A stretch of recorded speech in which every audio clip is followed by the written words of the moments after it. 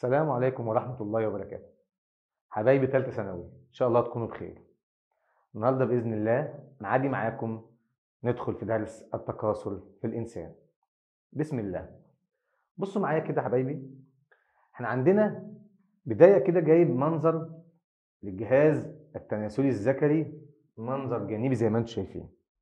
بس طبعا مش هينفع أدخل كده على الجهاز التناسلي الذكري أو الأنثوي غير لما أقول حتة مهمة جدا. ما دام بتتكلم في إنسان وتكاثر الجنسي في الإنسان يبقى لازم تتكلم على الطائفة اللي بينتمي إليها الإنسان. الإنسان بينتمي إلى طائفة الثدييات. الثدييات كلنا عارفين إنها كائنات ترضع الصغار. ما دام في إرضاع يبقى في المعظم بتكون كائنات ولودة. وما دام ولودة يبقى في المعظم بيكون في رحم ومشيمة. في المعظم في ارقى أنواعها يعني. في أنواع مش كده بس ارقى الأنواع ومعظم الأنواع تكون عندها مشيمة بتغذي وعندها رحم وبالتالي هل أنا ككائن من الثدييات هبيض زي الطيور؟ لا. إنما هيبقى عندي بقى مش عندي بيضة بقى لا. البيضة ديت في الطيور مثلا أو في بعض أنواع الزواحف طبعا أو في الزواحف. إنما هنا ما أجي أتكلم على بويضة. طيب نبص كده على البويضة دي الغذاء بتاعها والبويضة دي بيضة ها؟ ها؟ والغذاء بتاعها. هنا بيضة كبيرة في المح المح أو الغذاء بتاعها اللي بتخزن جواها كتير. زي مثلا الطيور أو الزواحف بتتكون كائناتها أو الأجنة بتاعتها داخل البيضة عشان بتتغذى على المح اللي موجود فيها. إنما عندنا إحنا بويضه الثدييات صغيرة شحيحه المح لأنها بتتخصب يا دوب بس تتخصب ويا دوب الغذاء اللي فيها عشان بس يحصل انقسامات ليها وتكمل وتبقى جنين داخل الرحم. يبقى بويضات الثدييات صغيرة شحيحة المح لأن الجنين ما بيحتاجش البويضة في الغذاء هو بيعتمد على مين؟ على الرحم بيعتمد على الأم في الغذاء. طبعا كلنا عارفين مشيمة ورحم والكلام ده هناخده في سكتنا وإحنا ماشيين. كمان الثدييات بيكون عندها إنتاج للصغار محدود. الثدييات من أرقى الكائنات. كلنا عارفين طبعا إن ما حدش في الثدييات أو بالذات في الإنسان بيخلف كتير مهما كان الأرقام اللي هتجيبها. لما يسمع عن حاجات نادرة جدا لبعض الأشخاص ليه حد جاب أو خلف حاجة و40 طفل أو حاجة و60 طفل بنسمع عن الحاجات دي ساعات في بعض الدول. بس طبعا ده كله ولا يذكر كرقم بالنسبة لباقي الكائنات. برضه رقم صغير يا جماعة. لأن طبعا الإنتاج بيكون محدود عشان بيبقى فيه تعب في التربية في تقدم للعقل وتمييز طبعا للعقل بتاع الطفل ده. فهضطر إن أنا ادربه على حاجات كتير. فما ينفعش إن أنا أخلف عدد كبير عشان أقدر أراعي كل طفل منهم. وبالتالي بيكون الإنتاج للصغار محدود. طيب نبدأ بقى مع بعض كده ندخل وناخد أول حاجة عندنا الجهاز التناسلي الذكري. طبعا اللي قدامنا ده منظر جانبي. بصوا حبايبي كده بسرعة الجهاز التناسلي الذكري في الإنسان عبارة عن أربع حاجات أساسية. هشاور لكم عليها. بصوا معايا كده. عندي أول حاجة لازم أتكلم فيها في الخصية. أدي الخصية بتاعتي. الخصية. العضو ده كده. على الخصية فوق كده. لحظة واحدة معايا. نظبط الدنيا. أدي الخصية. وبعدين من ده منظر جانبي. يبقى أكيد مش خصية واحدة أكيد هم خصيتين طيب الحاجة الثانية إن أنا عندي حاجة اسمها البربخ. البربخ ده موجود على الخصية. يبقى ما دام في بربخ على خصية يبقى في بربخان. وبعدين عندي لما أمشي كده مع البربخ عندي حاجة اسمها وعاء ناقل بياخد حيوانات منوية ويمشي بيها. أدي الوعاء الناقل مكمل مكمل مكمل. طب عندي وعاء ناقل من طالع من بربخ يبقى أكيد عندي وعاء ناقلان طيب يبقى أنا عندي ها أول حاجة الخصيتان البربخان الوعاءان الناقلان لأن في وعاء وعاء في اليمة الثانية عشان ده منظر جانبي زي ما إحنا شايفين. وبعدين بعد كده بننهي بعضو القضيب. اللي هو العضو اللي بيمشي فيه قناة مجرى البول اللي بتخرج طبعا البول والحيوانات المنوية. دي بس كده شكل سريع للجهاز التناسلي الذكري في الحاجات الأساسية بتاعته. في بقى حاجة اسمها غدد ملحقة. الغدد الملحقة بتاعتي اللي هي إيه؟ عندي حاجة اسمها حوصلة منوية وطبعا هي برضو اتنين مش واحدة. وعندي غده البروستاتا طبعا دي واحدة بس مش اتنين يبقى دي حوصلة في منها اتنين. غده البروستاتا في منها واحدة. وبعدين عندي أدي غده كوبر في واحدة في اليمة الثانية كوبر منها اتنين. يبقى أنا عندي خمس غدد تناسلية ملحقة. وطبعا دي مش في الجهاز التناسلي الذكري بشكل أساسي ولكنها تتبعه بس كملحقة كغدد مساعدة.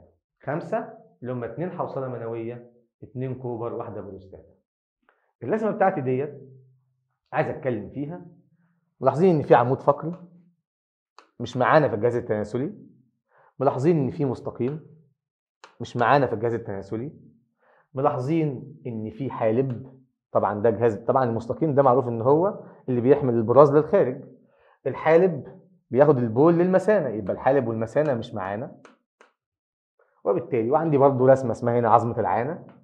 لأن طبعا دي منطقة التناسل بتاعتنا موجودة في منطقة الحوض وبالتالي لازم أقابل عظمة العانة عشان ده قطاع طولي في الإنسان كده فطبعا جايبين عظمة العانة. طبعا عظمة العانة برضو مش معانا.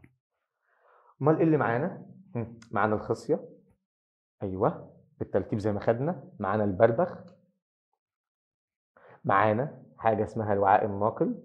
طبعا خلصنا الوعاء الناقل ومعروف إن هو موجود أهوت. وعاء الناقلان. معانا حاجة تانية اسمها القضيب. ماشي فيه قناة مجرى البول. معانا طبعا الغدد الملحقة اللي إحنا عديناهم مع بعضنا. الحوصله المنوية في اتنين البروستاتا واحد كوبر في اتنين. طيب عندي حاجة اسمها بقى كيس الصفن. هو طبعا دوت مش من ضمن الأساسيات بس إيه دوره دوت؟ لاحظوا يا جماعة معايا كده؟ أنا هعمل لكم الرسمة من الأول خالص يعني هشيل ده كل اللي أنا عامله دوت وأبدأ أوريكم حتة مهمة جدا. إيه هي؟ بصوا معايا كده. كيس الصفر موجود وبيحيط بالخصية. طب الكلام ده فين؟ الكلام ده خارج تجويف الجسم. يعني بصوا كده طبعا دي أو ده الفخذ بتاع الشخص الحتة دي كده فخذ طبعا ده العضو الذكري بتاعنا أو القضيب. طبعا دي الخصية موجودة داخل كيس الصفر. طبعا متدلي خارج الجسم. ليه؟ درجة حرارة الجسم بتاعتنا 37 ودرجه حرارة الجسم اللي هي 37 تنفعش تكون حيوانات منوية. المعلومه دي كل المنوي بيحب درجة حرارة 35 تقريبا. عشان ده يتحقق ما ينفعش الخصية تبقى في تجويف البطن من الداخل. لأن هي بتكون كده بالفعل في الأشهر الأخيرة من الحمل وتتغير. يعني طول ما الجنين موجود في رحم الأم بيبقى الخصية داخل التجويف البطني. في آخر أشهر الحمل قبل الولادة بيخرج الخصية أو تخرج الخصية داخل كيس الصفن طبعا وبتخرج تتدلى خارج تجويف الجسم. عشان خاطر تبعد عن درجة حرارة الجسم وتبقى درجة الحرارة مناسبه لتكوين الحيوانات المنويه يبقى يلا علل تحط الخصية بكيس الصفن أقول له حتى وطبعا ويتدلى خارج الجسم أقول له حتى يناسب تكوين الحيوانات الإيه؟ المنوية وتكون درجة حرارته مناسبة لتكوين الحيوانات المنوية. دي حتة مهمة جدا لازم نبص عليها قبل ما نقلب رسمتنا دي. بصوا يا حبايبي بقى نخش بقى على التفصيلة بتاعت الجهاز التناسلي الذكري. ولكن نتكلم عنها برسمه أوضح اللي هي المنظر الأمامي عشان هي جايبة الأعضاء بعددها كويس. بصوا معايا. أنا عندي المنظر الأمامي للجهاز التناسلي. نشوف مع بعض. بصوا معايا كده. اللي أنا شايفه شايف مثانه شايف حالبان والحالبان بيصبوا بول في المثانة كل ده ملوش دعوة بالجهاز التناسلي. يبقى الجزء اللي فوق دوت ملوش دعوة. بس في حاجة. غدة البروستاتا عايز احدد موقعها البروستاتا موجودة أسفل المثانة لو سألني على موقعها أقول له أسفل المثانة وتحيط بعنق المثانة. عشان كده الأشخاص اللي عندها تضخم في البروستاتا للأسف بيبقى عندهم مشكلة وهم بيتبولوا أو بيعمل حمام المية بتاعه بيبقى عنده مشكلة ويبقى في صعوبة في نزول البول. نسأل الله العافية. خلاص؟ يبقى موقعها أسفل المثانه تحيط بعنق الإيه؟ المثانه طيب القصة بسرعة كده. عندي خصية؟ لا عندي خصيتين. المنظر الأمامي يوضح لي الكلام ده. وظيفة الخصيتين حاجتين. إنتاج هرمونات الذكورة تستوستيرون اندروستيرون اللي هي هرمونات الأندروجينات كلنا حافظينها من باب الهرمونات التي تعمل على ظهور الصفات الثانوية الذكرية اللي هي خشونة الصوت نمو الشعر طبعا الإبط والعانة اللي هي مظاهر الثانوية قوة العضلات كل المظاهر اللي بتثبت إن هرمون التستوستيرون عمل بلوغ أو وصلك لمرحلة البلوغ. طيب الحاجة الثانية اللي بتتكلم عنها النهارده إن الخصية بتنتج الحيوانات المنوية. هي تنتجها بأعداد كبيرة جدا. للمعلومة الرجل عنده قدرة إنتاجية يوميا إنه ينتج 2 مليار حيوان منوي. يا نهار أبيض. كمية كبيرة جدا. طب ليه يا مستر؟ كلنا عارفين ان ربنا لازم يخلق كمية كبيرة منه عشان أي قذفة تكون أقل قذفة في حال- حالة جنسية واحدة. يعني زوج مع زوجته. عملية جنسية واحدة. حالة جماع واحدة. الراجل بيخرج أو بيقذف الراجل السليم من 300 ل 500 مليون حيوان. منوي دي في القذفه الواحدة. فالراجل عنده قدرة إنتاجية أو قدرة إنه يعمل عملية جنسية في اليوم الواحد من خمس لست مرات بناء على القصة اللي قدامي دي. طيب الراجل كده راجل سليم. إمتى يبقى عقيم. عقيم لو قل الرقم عن 20 مليون. يا نهار أبيض! يعني 20 مليون حيوان منوي. ومش مكفين أه مش مكفين ليه؟ عشان عارفين إن بيهلك. الحيوان المنوي ده كائن مجهري دقيق ما بيستحملش. جوه الرحم بتاع الأنثى في مخاط وفي مشاكل كتير هتقابله وهو ضعيف طبعا فبيهلك منه الكثير أثناء الرحلة عشان كده ربنا لازم يخلقه بالملايين. عشان طبعا اللي هيموت يموت واللي يوصل يوصل. بنحاول نوصل أكبر عدد عشان يخصب قلبه بيضه طبعا بيخصبها حيوان منوي واحد. هنعرف ده بعدين. المهم الحيوانات المنوية اتكونت في الخصية. طبعا كلكم عارفين من الأنيبيبات المنوية في الخصية والهرمونات كانت بتيجي من خلايا بينية كلام قديم طبعا. وهتروح على البربخ. يبقى هتروح على بربخان بقى عشان خصيتين انتجوا يبقى في بربخان. البربخ ده له وظيفتين. الوظيفة إنه يخزن. الوظيفة الرئيسية بيخزن الحيوانات المنوية. الوظيفة الثانية إنه يستكمل نضج. ودي حتة مش عندك في المنهج. استكمال نضج لو في حيوانات منوية مش كاملة كويس يستكمل نضجها في المخزن ده اللي هو البربخان. عبارة عن قناة تلتف حول الخصية وتخرج من قاعدتها. يعني مجموعة قنوات تلتف كده خارجة من قاعدة الخصية ها؟ وبتلتف طيب وبعدين هيبقى البربخ ده بعد ما يجمع حيوانات منوية يقوم جاي ينقلها فين؟ ينقلها في الوعاء الناقل. وعاء ناقل. عندي وعاءان ناقلان. الوعاءان الناقلان رايحين فين؟ كمل معايا كده. امشي في سكتهم كده. أيوه أيوه أيوه.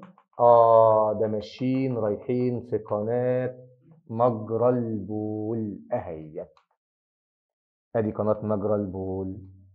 مين رايح لها؟ الحيوانات المنوية ماشية فيها. طب كمل كده. أدي وعاء ناقل. يلا وظيفة الوعاءان الناقلان تنقل الحيوانات المنوية من البربخان إلى قناة مجرى البول. بس في مشكلة. المشكلة إني أنا ما ينفعش أمشي حيوانات منوية في قناة مجرى البول كده على طول. لأن قناة مجرى البول بتكون دايما قناة حمضية. بسبب خروج البول منها باستمرار أملاح بقى وأحماض وبهدلة. وللمعلومه الحيوان المنوي ما بيعيش غير في وسط قلوي. طب العمل؟ ربنا سبحانه وتعالى خلق التجاذب بين الذكر والأنثى وعمل حوار الشهوة أو اللذة الجنسية. أول ما اللذة الجنسية دي بتستحضر عشان يحصل عملية جنسية بين زوج وزوجته بيحصل إفرازات. الإفرازات دي تسمى المزي السائل ده اسمه المذي اللي بتكلم عنه. إيه المذي ده؟ المذي إني في عندي غدة البروستاتا دي غدة واحدة وعندي غدتا كوبر الاثنين قدامكم هم كوبر وكوبر. دول بيفرزوا سائل اللي هو المذي. ده المذي دوت لفظ ليكم أنتوا يا جماعة؟ طبعا ده لفظ فقهي. خلاص؟ اسمه سائل قلوي ده يعمل معادلة الحموضة يعادل حموضة مجرى البول يعني يغير الحمضية بتاعتها عشان يناسب تكوين الحيوانات المنوية. يبقى الناس لما تسأل إيه السائل اللي بيخرج قبل قذف الحيوانات المنوية؟ اللي هو السائل اللي بيبدأ كده مع بداية الاستشعار باللذة بين الزوج والزوجة. السائل اللي بيخرج ده اللزج خفيف شوية ده اسمه المزي سبحان الله ربنا بيخرجه عشان يسهل الطريق للحيوانات المنوية عشان هو سائل قلوي بيعادل الحموضة. سبحانك يا رب. طيب. عايز بقى أتكلم على التدفق بعد كده. خلاص عرفنا طبعا دور البروستاتا والكبر أيوه سائل يعادل حموضة مجرى البول عشان يناسب مرور الحيوانات المنويه طب بعد كده بعد المزي ده ما بيخرج طبعا بيحصل تدفق اللي هي العملية الجنسية في نهايتها بقى خروج الحيوان المنوي القذف. اللي هو القذفه الواحدة اللي فيها من كام لكام؟ من 300 ل 500 مليون. الحيوانات المنوية وهي ماشية من الوعاءان الناقلان راح على قناة مجرى البول بتتخزن شوية هنا. في الغدة دي أو الغدتين دول حوصله منوية وحوصله منوية حوصلتان منويتان ليه؟ هي قطعت مشوار طويل والحيوان ده استهلك الطاقة اللي كان مخزنها. وهنشوف كمان شوية الحيوان ده عنده ميتوكوندريا بيكون بيها الطاقة. طيب الحيوان المنوي اللي عندي ده إيه حواره؟ حواره إن هو عايز طاقة فيعمل إيه؟ هياخد الطاقة ديت لما يخش على الحوصلتان المنويتان ويعمل حاجة اسمها أو ياخد حاجة اسمها سكر الفركتوز هنا في الحوصلتان المنويتان في سائل قلوي. هي بتكونه طبعا يحتوي على سكر الفركتوز اشمعنى فركتوز يا مستر؟ علشان إحنا ما نحتاجش إنسولين يدخل جلوكوز. ما هو لو كان جلوكوز هنعوز له إنسولين يدخله. ده رقم واحد. الفركتوز أسهل. الحاجة الثانية الفركتوز جسيم صغير عن الجلوكوز. إزاي اتعامل مع حيوان منوي دقيق؟ بجلوكوز فما ينفعش. يبقى فركتوز عشان صغير التعامل مع الحيوان المنوي عشان يست- يستخلصه ويطلع منه الطاقة الحاجة الثانية إحنا بنعدي دون الحاجة للأنسولين. ما ينفعش نستخدم أنسولين هنا. خلاص؟ طيب. وبعدين بعد ما ياخد شب الفركتوز بتاعه بقى عنده قوة وعنده طاقة عشان ال- الميتوكوندريا طلعت ال ATP بتاعته مما يؤدي إلى إيه؟ مما يؤدي إلى اكتساب الطاقة اللازمة لحركته ويكمل ويمشي في قناة مجرى البول عادي خالص وطبعا يخرج بتدفق اللي هو القذف المنوي ودي القصة بتاعتنا اللي هي قصة البروستاتا وكوبر التهيئة بالسائل المنوي اللي هو بيكون في مزي الأول عشان يعادل الحموضة ثم القذف بقى حملات منوية مع باقي المزي اللي هو اسمه السائل المنوي عشان يخرج للخارج. طيب كده خدنا مين؟ خدنا الخصيتين ودورهم، خدنا البربخان وخدنا الوعاءان الناقلان وخدنا الغدد الملحقة. ناقص عضو القضيب هو طبعا عبارة عن نسيج إسفنجي أو نسيج ليفي بيمشي فيه قناة مجرى البول التي تعمل على خروج البول والحيوانات المنوية كل على حدة. ده في وقت وده في وقت. تمام؟ نشوف مع بعض حاجة تانية. نشوف مع بعض حاجة تانية وهي قطاع في الخصية. بصوا يا حبايبي عندنا الخصية بتاعتنا دي زي ما أنتم عارفين في قصة تكوين الحيوانات المنوية كانت عبارة عن مجموعة من الأنيبيبات المنوية. آدي الخصية. بصوا كده. اولا بس نبص على اللفظ ده كده خلايا بينية. آه دي ما مصر عارفينها والله. الخلايا بين الأنيبيبات. بصوا آدي انيببه دي انيببه منوية. كبرناها طبعا بالمجهر. ودي انيببه منوية. ودي انيببه منوية. فهذه الانيببات بقى بينها خلايا. ها خلايا بينيه ها شايفين؟ خلايا بينيه خلايا بينيه هي دي الخلايا التي تفرز هرمونات الذكورة. هرمون التستوستيرون وهرمون الاندروستيرون كلنا عارفين خارجه من الخلايا البينية عشان الصفات الثانوية الذكرية. دي سهلة. طيب. طبعا الخلايا البينية ما ننساش أوعى ننسى دي بقى. اتنين نون طبعا two n. لأن الخصيه حتة من جسمك. وبالتالي حتة من جسمك يبقى مجموعة وراثية كاملة two n طيب عايز بقى أكون حيوانات منوية جوه الأنيبيبات. انيببها كونت حيوانات وادي انيببها كونت حيوانات. إحنا هنشوف مع بعض هنا قصة جميلة جدا. اولا أنا بادئ بلفظ هنا اسمه أمهات المني. موجود عندي هنا كده. أقول لك اصحى وفوق. البداية عندك في تكوين حيوانات منوية بدايه الانقسام. في خلايا مش هتشوفها في الرسمة. خلايا مدفونة هنا في بطانة الأنيبيبات. يعني في بطانة الأنيبيبات من جوه كده الحتة دي كده الحتة دي بالظبط. موجود حاجة اسمها خلايا ها جرثومية أمية. وديت طبعا 2 إن 2 نون. وما دام هي 2 إن وعايز أكون حيوانات منوية أمشاج غصب عني لازم أوصل لإن أنا أوصل للإن أو النون يبقى هتعمل ميوزي يلا. الجرثومية الأمية بتاعتي هتعمل ميوزي بس استنى. الكلام ده كان في النبات. اصحى. على طول ميوزي على طول. هنا لأ. هنا دي بتتدرج شوية. اصحى لي بقى كده. الجرثومية الأمية دي أول حاجة في بطانه الانيبيبات 2 n. هتنقسم ميتوزي عدة مرات كده. ميتوزي ميتوزي ميتوزي تجيب لي عدد كبير من خلايا اسمها إيه بعد كده؟ أمهات المني. يبقى أمهات المني كام نون؟ 2 نون. ليه؟ آه ده هنا الجرثومية الأمية في الإنسان بتنقسم أو بتبدأ عشان تجيب حيوانات منوية تبدأ بميتوز يا عم. هناك كان ميوز يا عم نبات على طول. يبقى في المتك بقى في النبات أو في البويضة. في المبيض يعني إيه، كله جرثومية بتتكون أو بتنقسم. ميوزي على طول. هنا لا ميتوزي يلا. 2 إن اللي هي تبطن الانابيبات جرثوميه أمية قسمت ميتوزي جابت عدد من خلايا اسمها أمهات المني. أمهات المني ديت اللي هي قدامكم مشاور هنا ها. أمهات المني بتاعتنا ما بتنقسمش. أمال بتعمل إيه؟ بتخزن غذاء. يعني بتتخن شوية. لاحظوا معايا كده بصوا. أدي صف أمهات المني. الصف ده كده. بصوا كده بدأت أمهات المني أدي أم منوية ها بدأت تخزن غذاء. وبقت حاجة اسمها خلايا منوية أولية. هل لما خزينة غذاء انقسمت هل فقدت العدد الصبغي؟ لا. وبالتالي إيه اللي حصل؟ لسه 2 نون زي ما هي. يبقى يلا عندي كام حاجة 2 نون لحد دلوقتي؟ ثلاثة واحفظهم. جرثومية أمية اللي هي موجودة في القنطر الانابيبات تنقسم ميتوزي ينشأ عنها أمهات من؟ أمهات المن يتخزن غذاء وتزداد وتكبر في الحجم اللي هي مرحلة زيادة الحجم بس ثبات العدد الصبغي تخنت بس العدد الصبغي موجود زي ما هو اللي هي خلايا منوية أولية. من هنا بقى الخلايا المنوية الأولية هي اللي تبدأ تنقسم ميوزي.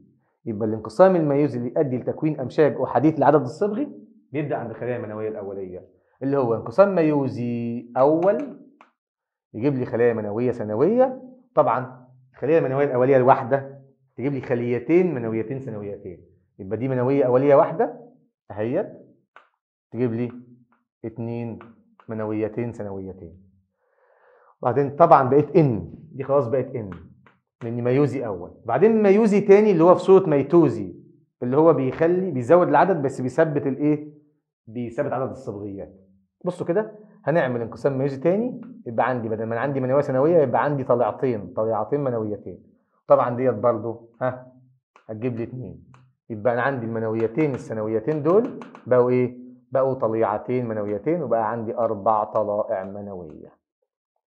كل طليعة منهم تتشكل طبعا وتبقى حيوان إيه؟ حيوان منوي. خلاص؟ طيب أنا عايز بقى أشوف الكلام ده كويس بس على رسمة تانية. يلا يا مستر. شوف مع بعض يلا. بصوا كده. بصوا الرسمة دي مهمة جدا.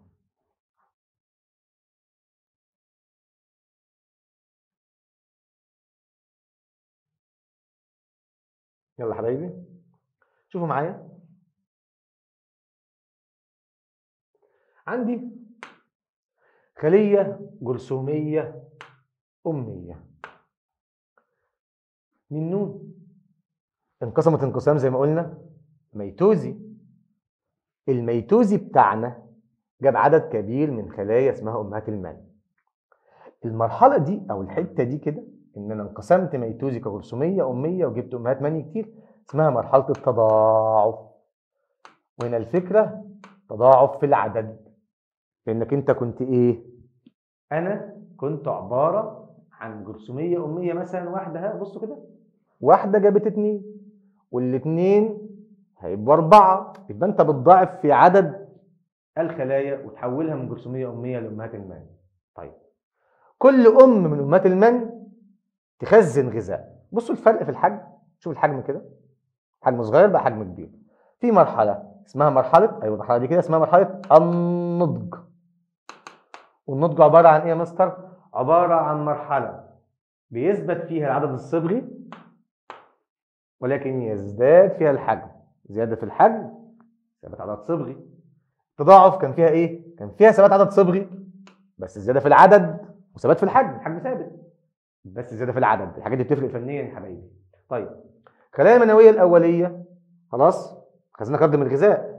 تبدأ بقى تنقسم ميوزي والانقسامات طبعا بتعمل فيها إيه؟ بتبدأ تاخد من الغذاء بتاعها مخزون الغذاء. السيتوبلازم طبعا بيقل. الميوزي الأول كنت 2 نون. بقيت منويتين ثانويتين وكل واحدة فيهم نون.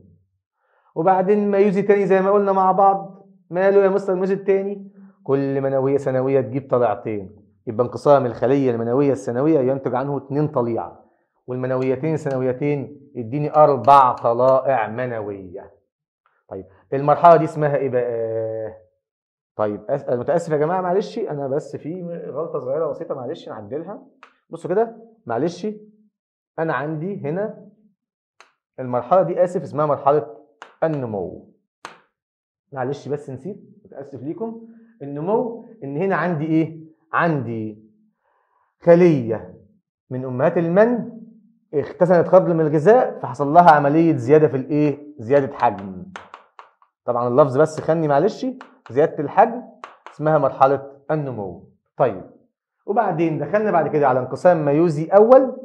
الانقسام الميوزي الأول بتاعي ماله هيقلل العدد الصبغي من 2n ل n وساعتها هيحصل إن أنا جبت طلائع منوية وبعدين أو جبت خلايا منوية ثانويه وبعدين جبت طلائع منوية. يبقى ميوزي أول يجيب خليتين منويتين ثانويتين زي ما قلنا وبعدين المنويتين الثانويتين كل واحدة تنقسم وتجيب طليعتين منويتين. طليعة وطليعة أدي الأربع طلائع بتوعي خلاص لأني منويتين ثانويتين انقسام ميوزي تاني. طبعا دي مرحلة كلها كده اسمها دي بقى مرحلة النضج بتاعتنا. يبقى ديت النضج. خلاص كده؟ يلا. يبقى مرحلة النضج إيه هي مرحلة النضج؟ هي مرحلة الانقسامات الميوزية. اللي هي بصوا كده معايا ها. اختزال في العدد الصبغي ونقص في الحجم. ده ميوزي أول. الميوزي الثاني اللي حصل هيحصل إن في ثبات في الحجم وثبات في العدد الصبغي بس زيادة في العدد. منويه ثانوية بقت طليعتين منويه ثانوية بقت طليعتين اتفقنا؟ المرحلة الأخيرة؟ إن كل طليعة تتحول لحيوان منوي دي اسمها مرحلة التشكل النهائي. اتفقنا كده؟ طيب. التشكل النهائي يعني إيه؟ يعني هنتكلم على حيوان منوي إنه اتغير بقى. يعني من خلية بتتحور طبعا فاكرين مستدق قليل السيتوبلازم عشان يتغذى على السيتوبلازم اثناء تكوينه هي دي اللي هتحصل دلوقتي؟ هنتكلم بقى دلوقتي على مرحلة التشكل النهائي وإزاي الحيوان المنوي دوت جه واتكون. يلا نشوف مع بعض رسمة ثانية طبعا التشكل النهائي إن أنت شكلت وجبت حيوان منوي. طبعا ده كان أصله طليعة منوية زي ما شفنا من شوية. إيه قصة الحيوان المنوي؟ اتشكل يعني كان عبارة عن طليعة والطليعة عبارة عن حاجة فيها سيتوبلازم خليه عادية يا جماعة. إن طبعا طبعا 23 كروموسوم لاني بتكلم على إنسان حيوان منوي الإنسان. طيب اتشكلت طبعا والسيتوبلازم ده تم التغذي عليه واتحور وبقى هو منظره دائري كده بقى عبارة عن المنظر اللي شايفينه قدامكم ده. منظر مستدق قليل السيتوبلازم اتكون إزاي بقى؟ بيتكون من أربع مناطق. إيه هي المناطق بتاعتنا؟ شوف كده. الحيوان المنوي عبارة عن الراس الحتة دي. الرأس بتاعتنا. بصوا بصوا بصوا. ها رأس. ماشي؟ نشوفها مع بعض كده. ها الرأس الحتة دي بالظبط. ها. إيه بقى مالها الرأس؟ فيها جسم قمي وظيفته عندي بويضة. عايزة تتخصب فيها نواة. حصل إيه؟ عندها غلاف البويضه دي من بره. الحيوان ده وصل. لازم يبقى عنده جسم قمي عشان بيفرز إنزيم مشهور اسمه إنزيم الهيالويورنيز يلا. إنزيم الهيالويورنيز ماله؟ ده يعمل على اذابه جزء من غلاف البويضه وطبعا ما بيبقاش حيوان منوي واحد بيبقوا كتير يساعدوا بعض بس واحد اللي بيخترق. عشان يعمل على اذابه جزء من غلاف البويضه طبعا ده بيتفرز من الجسم القمي. يبقى الرأس مهمة في جسم القمي عشان كده. الحاجة الثانية النواه بتاعتنا.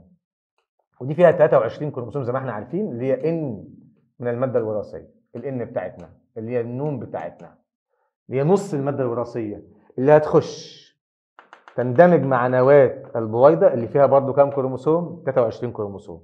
عشان نعمل الزيجوت اللي هو كام كروموسوم؟ اللي هو 46 كروموسوم. ما ننساش دي حاجة سهلة. يبقى الرأس جسم قمي يذيب بالهيالويورنيز ونواه عشان ال 23 كروموسوم اللي موجودين فيها تندمج مع نواه البويضة. عندي حتة مهمة بقى كمان العنق الحتة دي دي كده. فيها جسم مركزي اللي هم سنتريولان كلنا عارفين إن البويضة ديت لما تتخصب وتبقى زيجوت اللي هو 2 ان لازم تنقسم بدل ما هي واحدة بس كده تنقسم وتبقى اتنين والاثنين يبقى أربعة والأربعة يبقوا 8 أنت بتعمل كده ليه؟ بعمل نمو عشان أحول الزيجوت زيجوت بحوله لإيه؟ لجنين. عشان احول الزيجوت لجنين لازم أعمل إيه؟ انقسامات ميتوزية عشان أكتر العدد بتاع الخلايا عشان أعمل جنين. عشان ده يحصل وتعمل انقسام للبويضه المخصبة اللي هي الزيجوت لازم الحيوان المنوي ده يخترق البويضة بالرأس مع العنق الرأس والعنق يخشوا. الرأس ليه؟ عشان فيها نواه 23 كروموسوم تخصب. والعنق عشان الجسم المركزي أو السنتريولان دول يلعبان دور في انقسام البويضه المخصبة. البويضه المخصبة عمل لها عملية انقسام. وبالتالي السنتريولان دول يساع- يساعدوا طبعا كلنا عارفين الجسم المركزي بيكون خيوط مغزل اللي بتسحب الكروموسومات نحو قطبي الخليه عشان يبقى عندي خليتين اتفقنا. يبقى يقول لي علل دخول الحيوان المنوي بالرأس والعنق. أقول له الرأس للإخصاب 23 كروموسوم والعنق لأنه يلعب دور هام انقسام البويضه المخصبة عشان في سنتريولان. طيب لو دخل الرأس بس بدون العنق هيبقى في إخصاب بس مش هيتم الانقسام وبالتالي يموت الزيجوت مش هنكمل الجنين ده. طيب القطعة الوسطى الحتة الثالثه المنطقة الثالثه بتاعته كل دوت يا جماعة اسمه تشكل اتشكل لأربع مناطق. الميتوكوندريا اللي فيه هي ديت اللي كانت بتاخد الطاقة من سكر الفركتوز وتعمل له عملية أكسدة عشان نطلع منها أو يطلع منها الطاقة. يبقى إزاي الميتوكوندريا تشتغل؟ تاخد طبعا الغذاء من سكر الفركتوز أو بتاخده كغذاء وتأكسد وبالتالي يطلع منه الإيه؟ الطاقة. يبقى بتنتج الطاقة اللازمة لحركة الحيوان المنوي. قوة الدفع اللي الديل بيعملها عشان يتحرك ما يقدرش يعملها إلا لما يكون واخد طاقة من الميتوكوندريا اللي موجودة في القطعة الوسطى. آخر حاجة عندي محور الزيل طبعا والزيل اللي هو طبعا أو عندي المحور الزيل آسف اللي هو قطعة زيلية محور الزيل وقطعة زيلية ده اسمه الزيل. وظيفته طبعا ان هو يساعد في حركة الحيوان المنوي. المهم عند الاخصاب الزيل والقطعة الوسطى بيتفصلوا ما بيخشوش جوه.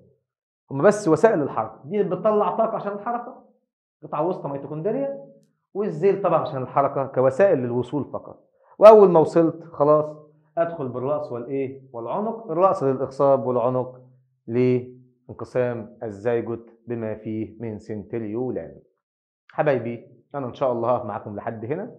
كده خدنا جزء مهم جدا. خدنا تركيب الجهاز التناسلي الذكري ووظائفه خدنا قطاع في الخصية وخدنا الشغل بتاعها إن في عندي حاجتين في الخصية اللي هم خلايا بينية ونيرفات منوية. طبعا الانيرفات دي فيها حاجة اسمها الخلايا الجرثومية الأمية والخلايا الجرثومية الأمية بتنقسم بيه الحياة المنوية. هي بس في حتة أخيرة. بنشوفها مع بعض بسرعة كده. في دقيقة واحدة. بصوا معايا في الرسمة دي كده. بصوا يا حبايبي. من ضمن الحاجة اللي في الأنابيبات حاجة اسمها خلية سيرتولي خلية سيرتولي بتاعتنا دي موجودة في الانيببه عشان زي ما أنتم شايفين تغذي الحيوانات المنوية داخل الخصيه يبقى أنا عندي الحيوان المنوي بيتغذى من مكانين مكان داخل الخصيه بعد ما يتكون على طول من الطلائع بعد ما يتشكل على طول من الطلائع أول وجبه بياخدها بياخدها من خلايا سيرتولي اللي هي جوه الانيببه وطبعا خلية سيرتولي دي 2 إن برضه لأنها حتة من الخصية 2 نون طبعا. تمام؟ يبقى أول غذاء للحيوان المنوي في الخصية من خلية سيرتولي. وبعد كده لما يخرج طبعا بياخد من الحوصلتان الإيه؟ المنوية تاني. يلا يا حبايبي بقى نخش مع بعض على حاجة تانية اللي هي الجهاز التناسلي الأنثوي. بصوا معايا كده أنا عندي الجهاز التناسلي الأنثوي جايب لي الراجل منظرين أدي منظر جانبي وأدي منظر أمامي. بسرعة كده نشوف مع بعض. ده المنظر الجانبي قدام عينيا. هنلاقي إن فيه عمود فقري. الجزء دوت جزء مستبعد إن يتحسب على الجهاز التناسلي. هلاقي فيه مستقيم اللي هو بيجمع البراز. طبعا معروف إن في مثانه بولية كل ده بره الجهاز التناسلي. أي طبعا في عظمة عانه كمان قدام عينينا. كل ده بره القصة بتاعتنا خالص. إيه بقى القصة؟ أنا عندي جهاز تناسلي اسمه مهبل. بداية في البداية عضو اسمه المهبل اللي هو العضو التناسلي اللي بيدخل منه العضو الذكري وإدخال الحيوانات المنوية إلى داخل الرحم ثم إلى داخل قناة فالوب عشان يتم الإخصاب زي ما إحنا عارفين. القصة هنا إن أنا عندي إن في مهبل في رحم في قناة فالوب في مبيض. لو جيت بقى بصيت على الأربعة دول هم دول مكونات الجهاز التناسلي الأنثوي إن جيت بصيت عليهم بس في منظر جانبي هلاقي نفسي اكتشفت إن أنا عندي مبيضين اكتشفت إن أنا عندي قناتي فالوب اكتشفت إن أنا عندي رحم واحد وعندنا مهبل واحد إيه القصة بسرعة؟ أولا وظيفة الجهاز التناسلي الأنثوي أولا بختار وظائف المبيضين اللي هي لازم تكون الجهاز التناسلي الأنثوي وظيفته الرئيسية إنه يجيب أمشاج اللي هي البويضات الحاجة التانية إنتاج هرمونات الأنوثة. وبعدين في وظيفة ثالثة اللي هي إيواء الجنين حتى الولادة. وظيفة رابعة اللي هي الإخصاب احفظ معايا. إن هنا في قناة فالوب في التلت الأول بيتم فيها الإخصاب الإخصاب بيتم هنا كده في التلت الأول لقناة فالوب في الحتة دي كده. يبقى الوظيفة الموجودة جهاز التناسل الأنثوي اللي هي الإخصاب في التلت الأول لقناة فالوب وظيفة إنتاج البويضات أصلا موجودة عندي من المبيض هرمونات الأنوثة اللي جاية هرمون الأنوثة اللي جاية عندي منين؟ جاية عندي من المبيض وهيمر لحر الرحم ده جاي من المبيض وبعدين عندي إيواء الجنين حتى الولادة طبعا ده بيتم فين؟ في الرحم أو في تجويف الرحم اللي إحنا شايفينه قدامنا ده دي وظائف رئيسية أربعة بس أهمها طبعا إنتاج البيضات وإنتاج هرمونات الإيه؟ الأنوثة. طيب القصة بسرعة تشريحية للجهاز التناسلي الأنثوي. عندي حاجة اسمها أول حاجة المبيضان. المبيض بتاعي المفروض إن هو بيجيب بويضة والآخر ده يجيب بويضة. بس ملاحظين إن في واحد شغال والتاني مش شغال. لأن المبيضين بيجيبوا بويضات بالتبادل. كل 28 يوم تطلع لي بويضة من الاثنين دول. ده هيجيب وبعدين 28 يوم يعدوا ده يجيب. يكون ده مريح. وبالتالي أصبح المبيض الواحد بيجيب بويضه كل 56 يوم ده المبيض الواحد. الاثنين بالتبادل كل 28 يوم. اللي هو ده هيجيب وبعدين استنى 28 يوم لحد ما ده يجيب و28 يوم كمان يمروا وده يجيب. أصبح في 2 28 لكل واحد 56 يوم المبيض الواحد. طيب بيقول لي في مرحلة الطفولة والبنت طفلة بينضج حوالي عدة آلاف من البويضات. عدة آلاف من البويضات بتنضج فين؟ أو بتكون موجودة في الأنثى. وهي طفلة بيكون عندها آلاف من البويضات. بس النضوج بتاعها بيكونش نضوج كامل. آلاف البويضات اللي هي موجودة عندي في الطفلة بتسمى بويضات أو خلايا بيضية أولية. أولا البنت بتتولد ببويضات في بدايتها كده تبقى اسمها أمهات بيض.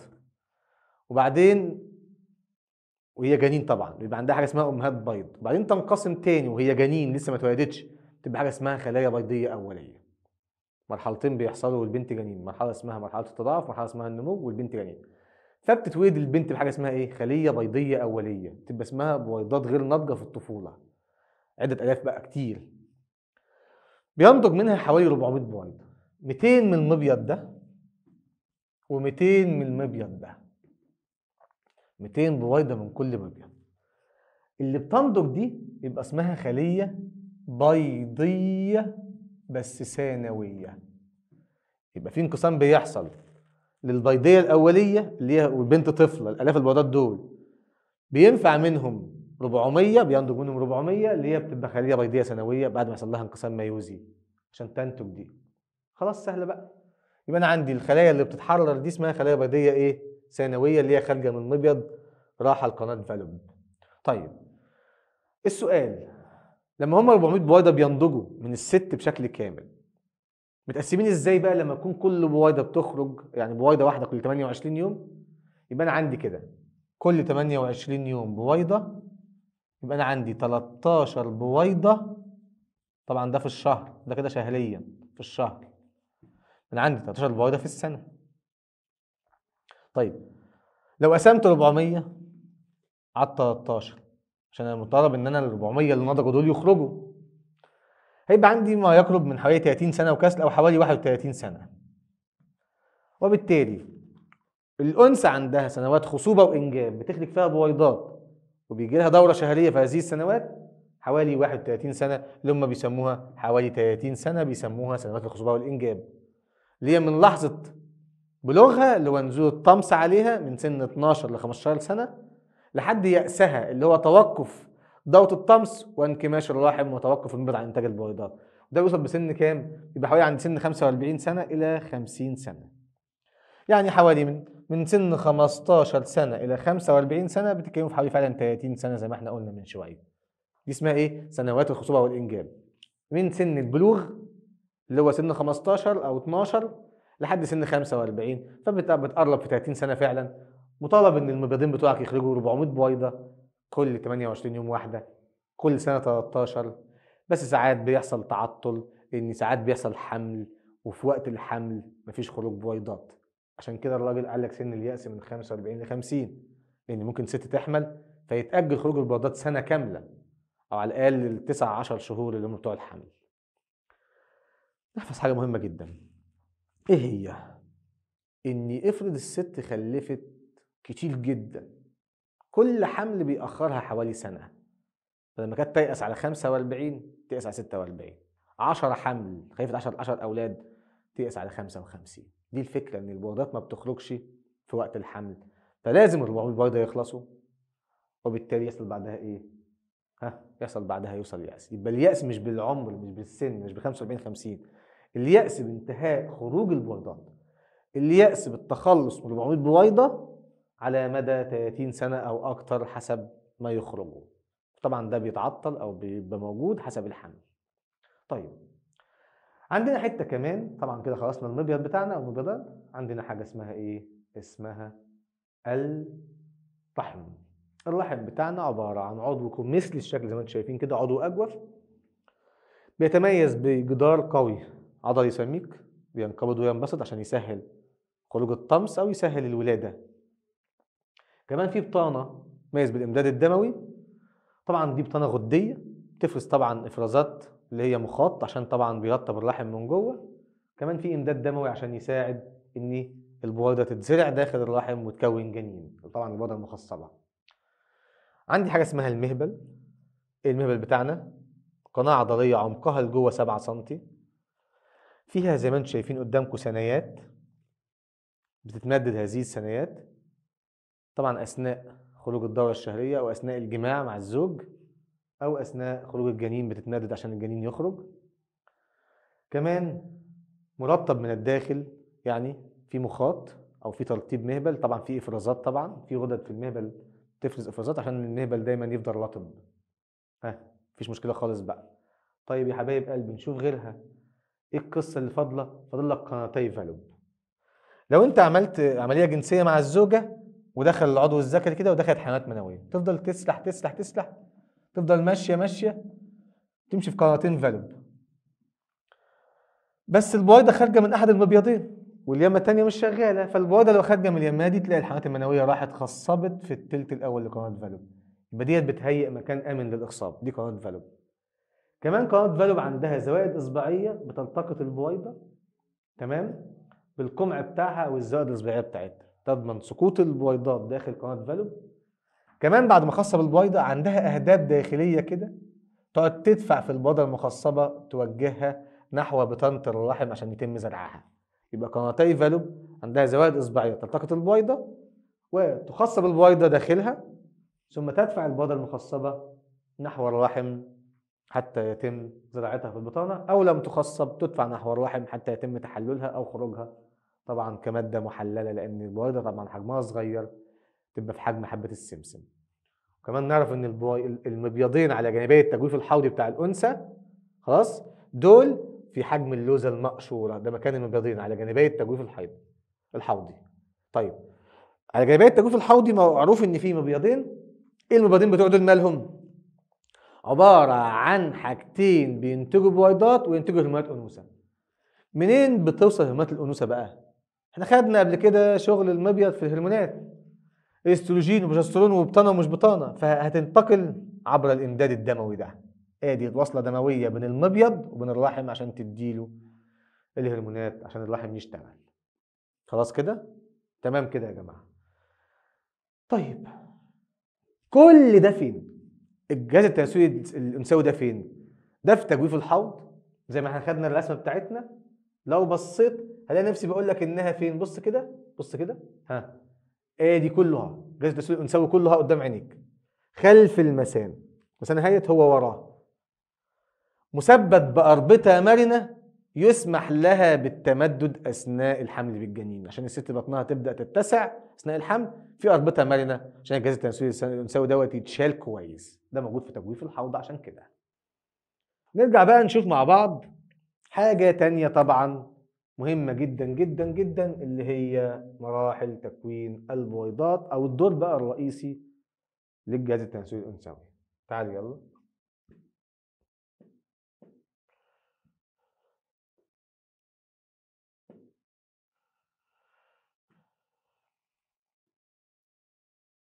اولا قبل ما نخش عليها تعال نشوف مع بعض الرسمة دي. في منتهى الأهمية يا جماعة. بصوا معايا كده.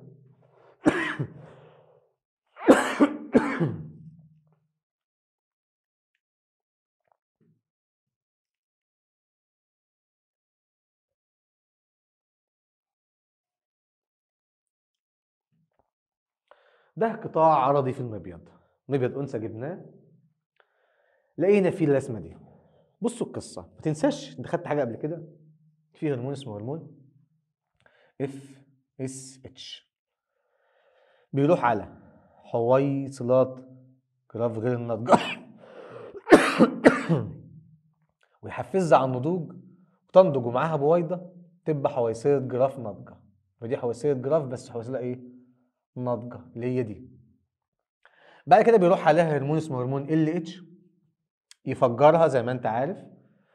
وخدنا قبل كده في الهرمونات. يبدأ يحرر منها مين؟ يحرر منها البويضة.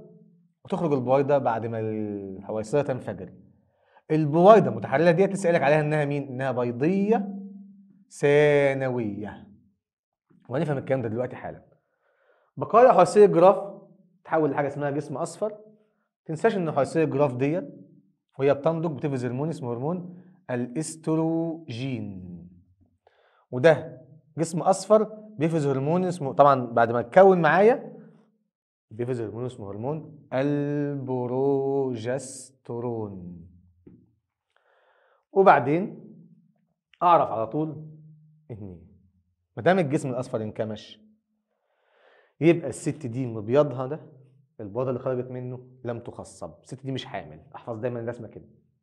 جسم اصفر كمل الست ديت حامل والبويضه بتاعتها اتخصبت.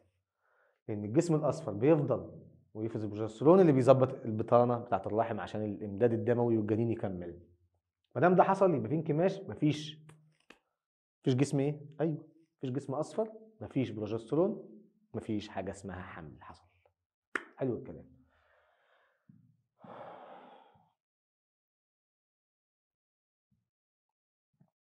تعالوا معايا بقى في حتة مهمة جدا اسمها مراحل انقسام أو تكوين البويضه ركزوا معايا كده يا حبايب قلبي احفظ معايا اللي هيحصل. أنا عندي حاجة اسمها مرحلة التضاعف. يلا مرحلة إيه بقى؟ ها. التضاعف. إيه اللي بيحصل؟ معايا في المبيض بتاع الأنثى خليه جرثومية اميه تنقسم انقسام ميتوزي. طبعا هي 2 ان هتنقسم ميتوزي هتطلع لي عدد كبير من خلايا اسمها خلايا إيه؟ أمهات البيض. الجرثومية الأمية بتاعتي لما أجيب أمهات بيض تبقى اتنين نون زيها لأن عملت انقسام ميتوزي طبق الأصل. الكلام ده تم والبنت جنين في المراحل الجنينية للأنثى. بعد كده إيه اللي حصل؟ حصلت معايا حاجة مهمة جدا اللي هي إني أحد أمهات البيض دول أو أي واحدة منهم حصل لها كبر في الحجم فهي دخلت في مرحلة اسمها مرحلة النمو. ما دام قلت النمو يبقى أنت بتتكلم في إيه؟ في مرحلة رقم اتنين دي مرحلة رقم واحد مرحلة رقم اتنين. برضه ديت تمت والبنت جنين. يبقى يلا يا حبايب قلبي. متى تتكون أول مرحلتين من مراحل تكوين البويضات في أنثى الإنسان؟ في المراحل الجنينية للأنثى. والبنت جنين. تضاعف ونمو. كونت وهي جنين داخل رحم أمها. كونت أمهات بيض بميتوزي. أمهات البيض بدون انقسام كبرت في الحجم وخلاص بسبب إن في غذاء أختزن وعملت حاجة اسمها بيضية إيه؟ بيضية أولية. والبنت اتولدت بدي وفضلت طفلة بدي لحد ما تيجي مرحلة البلوغ أو النضوج بتاع المبيض. نبدأ نشوف المنظر ده. كله يركز معايا في اللي أنا هقوله بقى. بصوا كده. عندي من أول القصة دي اللي هي كلمة إيه؟ خلية بيضية أولية. نبدأ نشوف مع بعض. مهمة جدا يا جماعة. ها. دي آخر حاجة جت معايا؟ ها. كانت البنت إيه؟ كانت البنت طفلة. كده طفلة مولودة بده طيب. عند البلوغ. هيحصل. مرحلة البلوغ حاجة اسمها مرحلة النضج. دي كلها كده اسمها النضج. إيه حوار النضج؟ النضج إن في إيه بقى؟ إن في حاجة اسمها خلية بيضية أولية هتنقسم ميوزي أول تجيب حاجتين. حاجة اسمها بيضية ثانوية وحاجة اسمها جسم قطبي لأن الميوزي الأول بيقلل عدد الصبغات للنصف. انقسام اختزالي. two N بقت N. دي N ودي N. بس البيضية الثانوية خزنت غذاء. أكتر من الجسم القطبي عشان كده حجمها كبر. وهي دي اللي بتتحرر من المبيض اللي إحنا خدناها من شوية. هي دي البويضة التي تخصب دي البويضة اللي بتخرج من البنت. أي بنت أو أي ست عندها دورة شهرية دي اللي خارجة معاها. بيضيه ثانوية. طيب. في بقى انقسام ميوزي تاني. طبعا ده خلاص حصل لأي بنت. أي بنت أو أي أنثى بيحصل لها ده. ميوزي أول الاثنين نون في الأولية اللي هي مولودة بيها تنضج وتبقى ها بيضيه ثانوية بانقسام ميوزي فعندي نون جسم قطبي ونون بيضيه ثانوية بس دي أكبر في الحجم. غذاء مدخر ده بقى إمتى يحصل؟ لحظة دخول الحيوان المنوي. اسمه انقسام مؤجل أو مشروط. أول ما الحيوان المنوي يخش لحظة ال touch لحظة اللمس ركز. خد بالك إن دي بيضيه ثانوية بص إيدي هتعمل إيه؟ حيوان منوي أول ما دخل بدأ يلمس. خد بالك بداية دخوله دي خلاص. طبعا هو بيخش بالرأس والعنق ويسيب القطعة الوسطى والديل بره زي ما أنتم عارفين. عشان الراس فيها نواة والعنق فيه سنتريولان بيعملوا انقسام. مش عايز بقى باقي أجزاء الحركة دي اللي هي ال- القطعة الوسطى والزيل مجرد ما بدأ ده يدخل دي كده بداية إخصاب. دي اسمها عمليه بداية إخصاب. ركز. وبعدين ساعتها يبدأ البيضية الثانوية تبقى اسمها بويضة. يلا. متى تتحول البيضية الثانوية إلى بويضة؟ لحظة التاتش. دي عملية بداية الاخصاب بداية مين؟ بداية دخول الحيوان المنوي. بقى اسمها بويضة وهي لسه إن يا جماعة زي ما هي زي ما أنت شايف. بس بقت ناضجة شوية. وهو الرأس أو النواة مستمرة ومكملة في سكتها وراحة للنواة ساعتها هتبقى اسمها زيجوت. يعني إمتى ديت تبقى زيجوت؟ تو إن. لما ده يكمل اخصاب اسمها نهاية اخصاب واصلة كده؟ طيب. يبقى الانقسام الميوزي التاني حصل إمتى؟ قبل الاخصاب ولا بعد الاخصاب عشان دي عاملة لغط كبير قوي. وأنتوا على الميديا بمواضيع الدنيا طبعا. لازم أقول له حصل الانقسام الميوزي التاني بعد الاخصاب لأن بداية الاخصاب بداية ال touch أول ما ال touch يحصل إيه اللي حصل؟ حصل انقسام ميوزي تاني. جاب لي وضع نضج N. ثم اكتمال الاخصاب يخليني بقيت two N. تقول لي يا أستاذ طب إزاي ميوزي أول يجي بعد إخصاب؟ معناها إنك أنت خصبت بقيت two N ميوزي أول إزاي؟ أقول لك هي ماشية بداية إخصاب بداية إخصاب ونهايته. المنهج بتاعك للأسف مش مكملها صح. أنا بقول لك على الصح والله الصح بتاعها N. إخصاب touch touch ده إخصاب. ثم ميوزي تاني جاب لي حاجة أحادية. وأثناء لسه بقى يعني هي اسمها عمليه موحده يا جماعة. بداية إخصاب. ثم احفظها كده بداية اخصاب ثم ميوزي تاني ثم اكتمال اخصاب ثلاث خطوات في عملية واحدة هي اسمها كده عملية كاملة على بعضها. نحفظها كويس. هتلاقي ده كده هيفط من دي كده يخلع منها مجرد ال touch. ثم مكمل ها في الثواني باقي كام ثانية يلا ويخش يندمج. دخل اندمج بقيت two n بقيت عملت نهاية اخصاب احفظها كويس يا جماعة. طبعا قد ينقسم الميوز التاني طبعا لما يحصل قد ينقسم الجسم القطبي الآخر ويعمل لي جسمين قطبين يبقى عندي ثلاثة طبعا دي مش مهمة بالنسبة لي. وديت كانت مراحل إيه؟ كانت مراحل تكوين البويضات. مهمة جدا يا جماعة ركزوا فيها. طيب.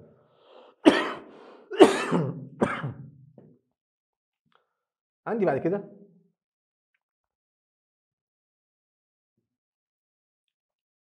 حاجة مهمة جدا اللي هي تركيب البويضة.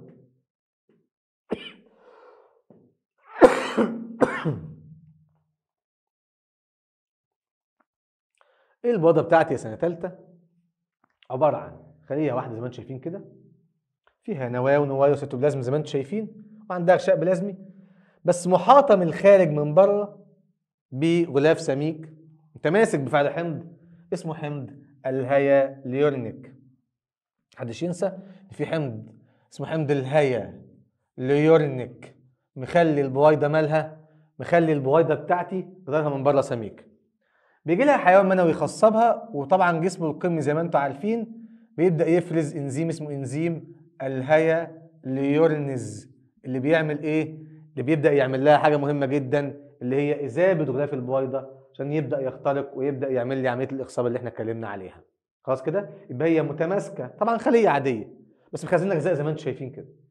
الهيالويورنيك مخلي غلافها من بره سميك عشان يدوب لازم آلاف الحيوانات المنوية أو ملايين عشان تذيب الغلاف الخارجي بإنزيم الإيه؟ الهيا ليورنز زي ما أنتم عارفين. طيب دوت كان تركيب البويضة. معايا حاجة كمان جميلة جدا اللي هي بتكلم على حاجة اسمها دورة التزاوج. وديت نروح بقى على طول كده ونشوف مع بعض إيه حوار دورة التزاوج. بص يا اصدقائي دورة التزاوج بتاعتنا لما نبدأ ونشوف هنلاقي نفسنا بنتكلم على كائنات معروف إن هي معظمها بيكون ثدييات مشيمية. دورة معينة في حياة مين؟ الثدييات المشيمية. ينشط فيها المبيض. والله المبيض يبقى هيجيب بويضة. في كائنات بتجيلها بويضة واحدة في السنة زي الأنثى الأسد وأنثى النمر في كائنات بيجي لها بويضة واحدة كل ست شهور زي بنتكلم في القطط والكلاب. في كائنات بيجي لها بويضة كل شهر زي الأرانب والفئران وبالتالي اسمها دورة إيه؟ دورة تزاوج. فترة معينة في حياة الثدييات المشيمية ينشط فيها المبيض بصفة دورية ومنتظمة. وتتزامن هذه الوظيفة مع تزاوج الإنجاب. بمعنى أنثى الأسد بتحيض حيضة واحدة في السنة فعندها دورة تزاوج واحدة. مع هذه الحيضة بتجيب بويضة واحدة. يوم الذكر يبقى عارف يقوم يعمل معاها تكاثر جنسي في هذا الوقت. يبقى الذكر ال- الأسد بيعمل عملية جنسية مرة واحدة بس مش مرة مرة لأ بيبدأ يعمل مرات كتيرة في نفس الوقت في السنة. يعني مثلا ثلاث أربع أيام كده من السنة بيبدأ يكثف فيها العملية الجنسية مع الأنثى بتاعته عشان يضمن إنه يلحق البويضه الواحدة دي. لأن لو فاتت عليه للأسف مش هيشوف غير بعد سنة مش هيخلف غير بعد سنة. هي دي القصة ماشي؟ بتبقى طبعا كل ست شهور في القطط والكلاب بتكون كل شهر في الارانب والفئران. دي اسمها دورة التزاوج. انما بتاعتنا إحنا بقى اللي بتاعت الأنثى الإنسان عندنا باسمها دورة الشه... الدوره الشهرية أو دورة الايه الطمس. دورة التزاوج اللي هي إيه؟ اللي هي كل 28 يوم جاهز بويضة للأنثى. يبقى دورة التزاوج دي المبيض بتاعنا بينشط كل 28 يوم بيجهز لي ها بويضة. فدورة التزاوج عند الإنسان بتبقى كل 28 يوم اللي هي تسمى الدورة الايه الشهرية. يبقى أحفظ إنها كائنات ثدييات مشيمية تبقى ممكن تبقى سنوية ممكن تبقى نصف سنوية ممكن تبقى شهرية. دي اسمها دورات تزاوج. لأن خد بالك لازم مع دي عملية جنسية تحصل عشان ما البويضه هتفوت عليك يا كائن يا بتعمل كل سنة. وانت بتاع نص كل سنة أو كل نص سنة هتفوت عليك البويضه فالحق اعمل جنس والحق اعمل جنس برضو انت. طبعا في الأنثى الإنسان هي كل 28 يوم عادي ممكن يحصل جنس في الفترة ديت أو مش شرط يحصل جنس بس هنا لازم تتزامن مع التزاوج والإنجاب عشان كده سموها دوره تزاوج بينشط فيها المبيض يجيب بويضه بس لازم يتزامن معاها حدوث عملية جنسية أو حدوث التزاوج. خلاص كده؟ طيب كده خلصنا الجزء دوت. يلا بينا مع بعض هنشوف الجزء اللي فاضل في الدرس ده المهم جدا اللي هو عامل قلبان على ال social media بتاعتنا. اللي هو دورة الطمث في الإنسان. يلا نشوف مع بعض. شوف بقى مع بعض كده دورة الطمث اللي قلنا عليها. بصوا يا حبايبي المخطط بتاعنا أو الرسمة اللي قدامنا دي زي ما أنت بتشوفها لازم تمشي معايا على الرسمة كلها بالمنظر ده. بصوا كده أنا همشي من هنا وأنزل لتحت. يعني تأثير ال FSH مثلا فين تأثيره؟ تأثيره بيبان معايا لتحت كده. بنزل هنا بنزل بنزل وأشوف الحوار. لحد ما أوصل لآخر حاجة. نفس الحوار أرجع تاني وأشوف مثلا تأثير ال LH لازم أنزل تحت منه تأثيره بيكون تحت منه على طول. يبقى الرسمة بتاعتنا ماشية إزاي؟ ماشية إن الهرمون بيأثر نتائج التأثير بتاعته بتظهر أسفل الرسمة اللي موجود فيها. طيب قبل ما أخش في أي حاجة لازم أحفظ إن ال FSH وال LH دي هرمونات غده نخاميه تمام؟ وعندي إستروجين بروجسترون دي هرمونات مبيض ودائما تأثير هرمونات الغدة النخامية بيكون موجود على المبيض يبقى يلا تأثير مين على مين؟ النخامية بتأثر على المبيض و هرمونات المبيض بتأثر على بطانة الرحم يلا همشي بكام قاعدة؟ بثلاث قواعد أول حاجة إن الهرمون تأثيره لتحت. تاني حاجة إن ال FSH وال LH هرمونات غدة نخامية تأثيرهم على المبيض تالت حاجة هرمونات المبيض تأثيرهم على بطانة الرحم. تعالوا نشوف يلا. بص كده. أنا عندي أول حاجة عندي الهرمون اللي هو FSH هو بيزيد. يزيد مع بداية تهدم بطانة الرحم. اللي هو تحت كده نبص آدي بطانة الرحم متهدمة دي الرحم ها؟ هنا متهدمة وهنا الوقت ده اللي هو من اليوم الأول. لليوم الخامس طبعا ده اليوم الخامس عندي حاجة اسمها مرحلة الطمث. يبقى دورة الطمث بتاعتي. تبدأ بإيه؟ تبدأ بنزول الدم على الأنثى اللي هو نزول دم الدورة اللي هو معناه تهدم بطانة رحم. في الفترة دي بيكون هرمون FSH شغال. أعلى نشاط لهرمونات الغدة النخامية بالذات FSH بيكون إمتى؟ بيكون في وقت الدورة وقت تهدم البطانة وقت نزول الدم اللي هم الثلاث لخمس أيام بتوع نزول الدم. طيب ال FSH جه ليه؟ جه ومشي عبر الدم راح للمبيض رايح لحويصلة جراف عشان ينضجها عشان يخليها تنضج. ولما تنضج تبقى جواها بويضة بتنمو بداخلها. أثناء نضجها بصوا معايا FSH ادى أمر لمين؟ لحويصلة جراف. نضجت وأثناء نضجها أفرزت هرمون الإستروجين. الإستروجين ده اللي بيزيد مع إنماء الحويصلة وإنماء البويضه بداخلها حصل إن الإستروجين لأن هو هرمون مبيض بيروح لبطانه الرحم حصل إن هو راح بدأ يبني بطانة جديدة بعد ما كان البطانة خلصانة وبقت بطانة zero خالص لأن دورة الطمث أو الدورة نظفت أو فترة الطمث نظفت الرحم خالص. وخلت البطانة مش موجودة فيبدأ يعمل بطانة جديدة. يبقى يلا الاستروجين يزيد من انماء بطانة الرحم. طيب نركز بس في فنيات مهمة. بصوا معايا أعلى إفراز لل FSH في اليوم الكام؟ أدي واحد اثنين ثلاثة أربعة خمسة. أعلى إفراز للإف إس اتش بيكون في اليوم الخامس. أحفظها كويس. اللي هو عموما بيزيد FSH وبيكون نشاط الغدة النخامية شغال عادي والست عندها دم الدورة نازل. إنما المبيض هرموناته مش شغالة خالص. بصوا عنده. بص كده استروجين بروجسترون هما الاثنين قدامي. مالهم يا مستر؟ الاستروجين والبروجسترون أدنى معدل ليهم في أول خمس أيام اللي هم بتوع دوره الطمس اللي هم بتوع فترة الطمس يعني طول ما الدم نازل طول ما هرمونات المبيض مش شغالة. طيب بعد كده بنبص نلاقي إن في هرمون زاد إفرازه وكان أعلى إفراز ليه ما بين اليوم الثاني عشر والثالث عشر لبدء الطمس اللي هو هرمون LH ثم يحدث تأثير له في اليوم الرابع عشر ويفجر حويصيه الجراف اللي فيها بويضة وبكده بقى اسمه الهرمون المفجر اللي هو هرمون LH وهرمون مبوض لأنه خرج بويضة وهرمون مصفر لأن بقايا حويصيه الجراف دي بتتحول بعد كده لجسم أصفر. يبقى مين الهرمون السبب؟ أو يسموه هرمون مصفر هرمون LH اللي بيسبب في انفجار حويصيه الجراف وتحويلها إلى جسم إيه؟ إلى جسم أصفر. هنكمل مع بعض ونشوف.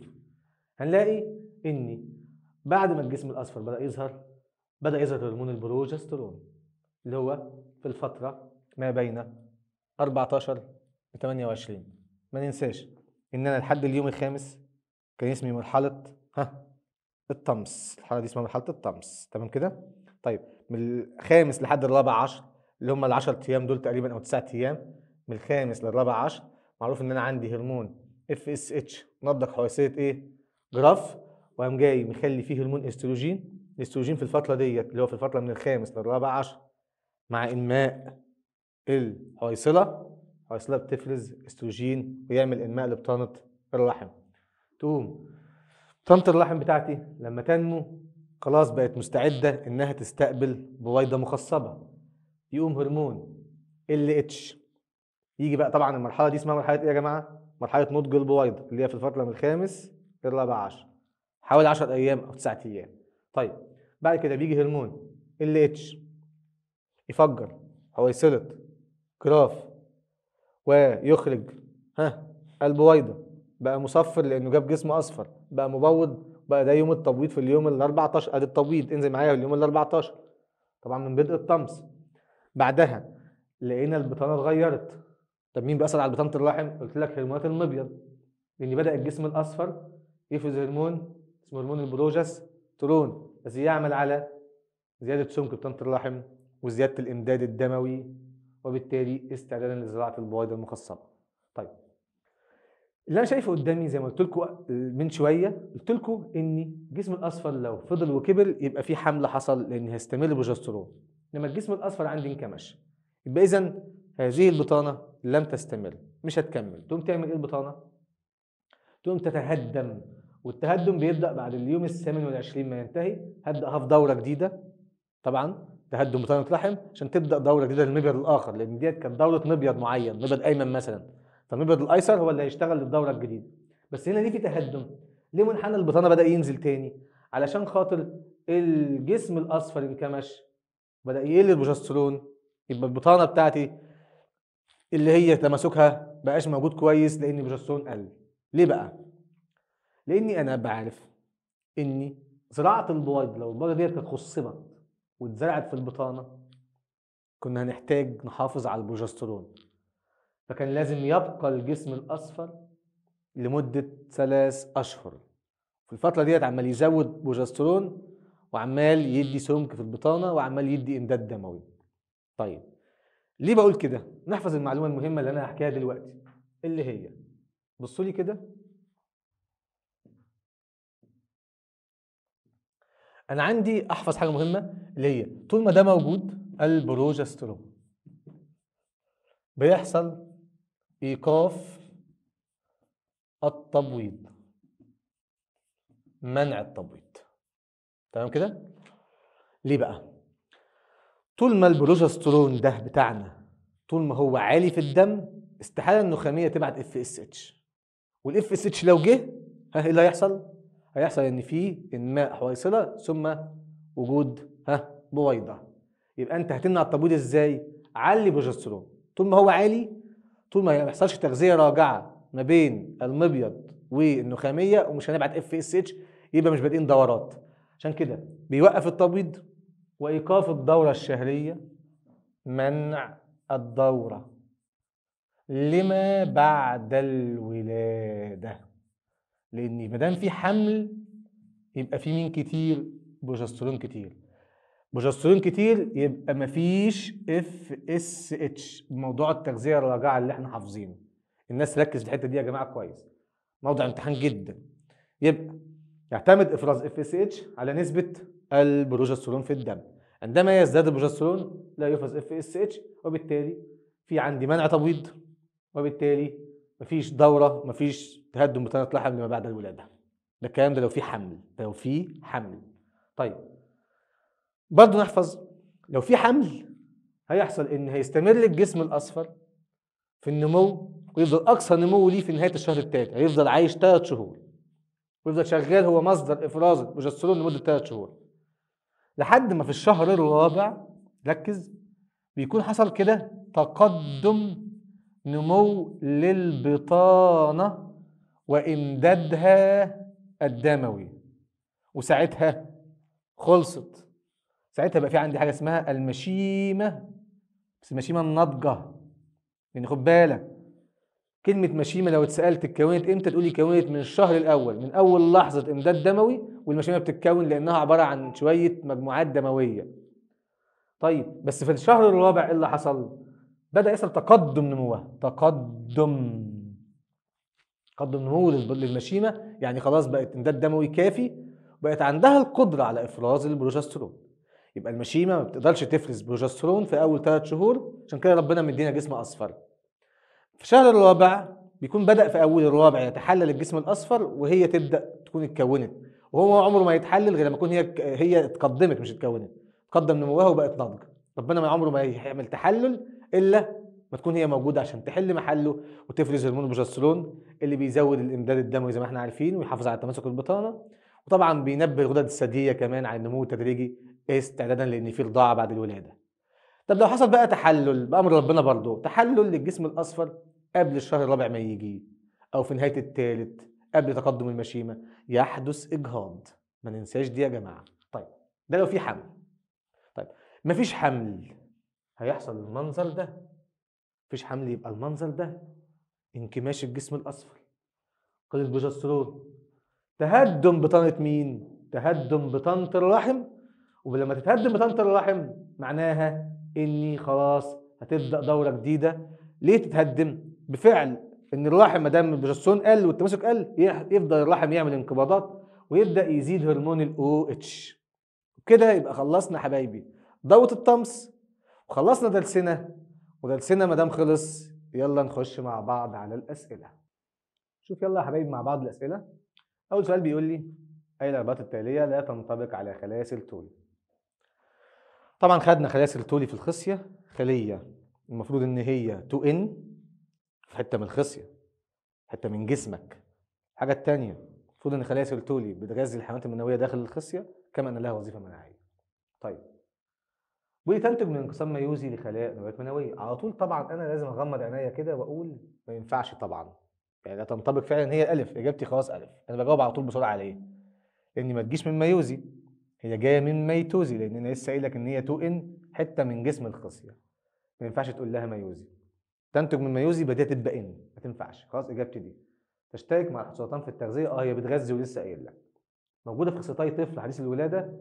آه موجودة في خصيتي طفل عادي جدا الطفل بينزل بالخصيه بتاعته نضج عادي جدا. قد تشترك مع الجهاز المناعي في أداء وظيفة؟ آه إحنا لسه قايلين لها وظيفة مناعية. خلاص كده انتهى الأمر. خش على غيره. عندي بعد كده السؤالين اللي جايين دول مهمين جدا. بيقول لي الراجل الرسم البياني المقابل يوضح بعض الخلايا في خصية ذكر الإنسان إلى ماذا يشير الحرف صاد طيب هنبص مع بعض كده.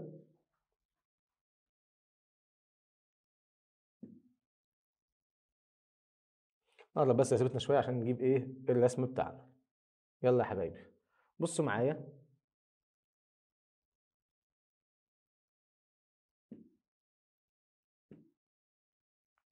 بص بيقول لي إيه؟ بيقول لي إلى ماذا يشير الحرف صاد؟ وجايب لي رسمة. جايب مجموعة صبغية وجايب لي 2 إن نهايات باللون اللبني. وادي ان باللون الروز أو اللون الاحمر اللي هي صاد. طبعا س 2 ان وصاد ان زي ما أنتم شايفين. وعايز الحرف صاد يعني عايز الحاجة اللي هي عبارة عن انات عايز الحاجة اللي هي فيها ان. طيب لما يتقال لي حاجة فيها ان عيب طبعا إن أنا أختار ألف لأن الجلوسوميه الأمية أنا عارف إنها 2 ان. معايا الطلائع N معايا المنوية الأولية المفروض إنها 2 N معايا المنوية الثانوية N. أنا راجل حافظ ومذاكر. وبالتالي إجابتك يا باء يا دال. طيب أنا عندي هنا 2 N بقت N مرة واحدة يعني مرة واحدة. أول خطوة جبت خليتين. كده أنت عملت ميوزي أول ولا ميوزي تاني؟ اولا أنت عملت اختزال العدد الصبغي وده بيبقى ميوزي أول. كمان أنت طلع كام واحدة؟ اتنين. وده برضو بيكون في الميوزي الأول لأن الميوزي التاني لازم يجيب لي كام؟ أربعة. وبالتالي هختار الحاجة اللي بتنتج عن الميوزي الأول. اللي جاية عن الميوزي الأول أكيد هتبقى خلية منوية ثانويه خش على اللي بعده. كم عدد؟ الحيوانات المنوية الناتجة من انقسام 8 خلايا منوية ثانويه والله المنوية الثانويه ديت ديت لو كملت وانقسمت هتبقى عاملة 2 طليعة. وديت برضه هتعمل 2 طليعة.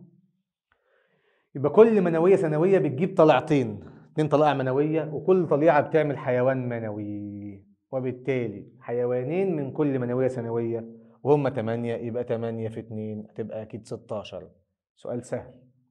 خش على غيره.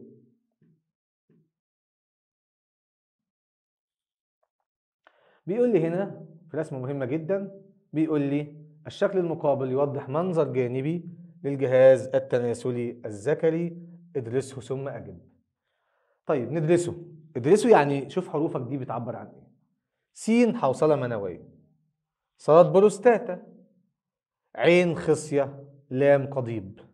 س حوصلة منوية صاد بروستاتا عين خصية لام قضيب طيب حبيب قلبي الراجل بيقول لك يحدث التباين الوراثي أو التباين في الصفات الوراثية للأبناء إذا حدث تباين في المعلومات الوراثية الموجودة في أنوية بعض الخلايا المتكونة في التركيب مين؟ واحدة واحدة. أنت عندك تحفظ دي لك إن الذكر دايما العدد الصبغي بتاعه 44 زائد XY. في انقسام ميوزي بيحصل اللي هو 22 زائد Y أدي أنواع حيوانات منوية في 22 زائد X أدي أنواع حيوانات منوية أخرى. حلو الكلام. طيب سؤال جميل بقى وصغير قد كده. إيه هو السؤال الجميل الصغير؟ هنا في تباين وراثي ولا لأ؟ في تباين وراثي.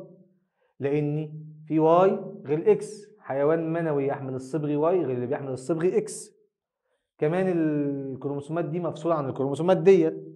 وبالتالي الكلام ده كله بيحصل فين؟ الانقسام الميوزي إحنا خدناه اللي هو تكوين الحيوانات المنوية بيتم داخل الخصية.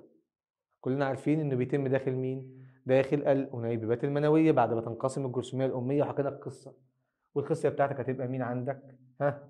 يلا. أيوه. هتبقى عين. الخصية عندي عين. سهلة خالص.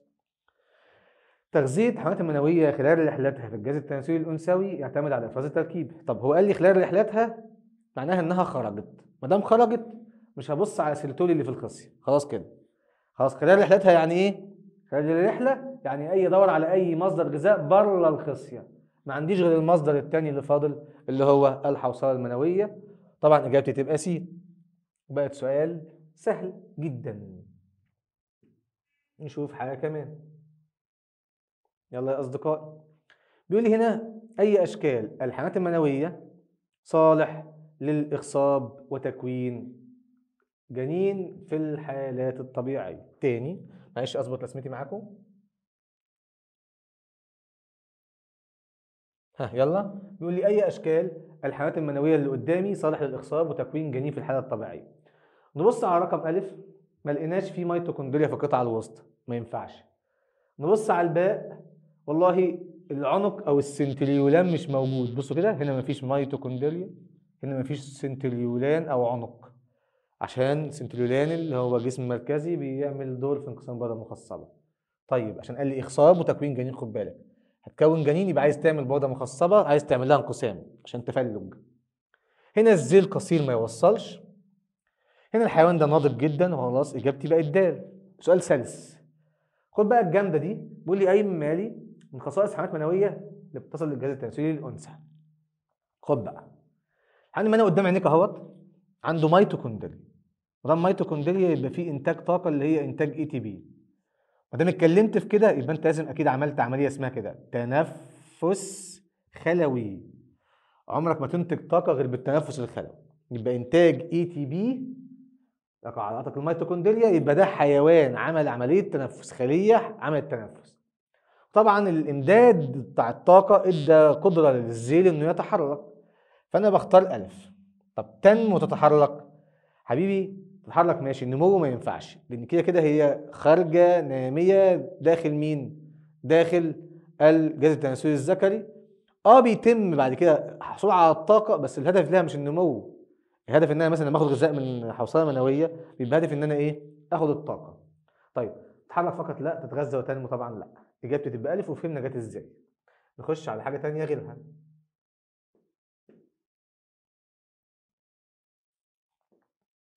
نخش مع بعض. بيقول لي في الشكل المقابل اختر الشكل اختر في الشكل المقابل أي مالي ليس من أجزاء الجهاز التناسلي في أنثى الإنسان. تعال نبص على الكلام. س ديت بتتكلم في إيه؟ بتكلم في جدار رحم أو رحم. صاد دي عظمة عانه ولام ده مهبل وعين لام ده طبعا عنق رحم وعين ده مهبل. تاني تاني. نبص مع بعض نكبر الرسمة تاني معلش. بصوا كده. ها تاني. ها س رحم أو جدار رحم لام ده عنق رحم وادي عينها في ثناياتها اهوت اللي هو المهبل وادي صاد اللي هو عظمة العانه وبالتالي ليس من اجزاء لازم طبعا أختار مين؟ أختار ها صاد اللي هي عظمة العانه يلا بقت سهلة خالص. خش على غيره. هنا سؤال مهم برضو أو مجموعة أسئلة في منتهى الأهمية. يلا يا حبايبي.